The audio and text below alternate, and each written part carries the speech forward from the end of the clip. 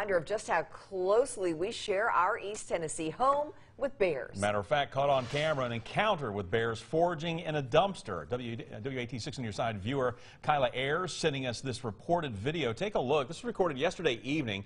Ayers saying the encounter happened at Campbell County's Peabody Convenience Center. Yeah, oh so close. That center is on Highway 25W between La Follette and Jellicoe.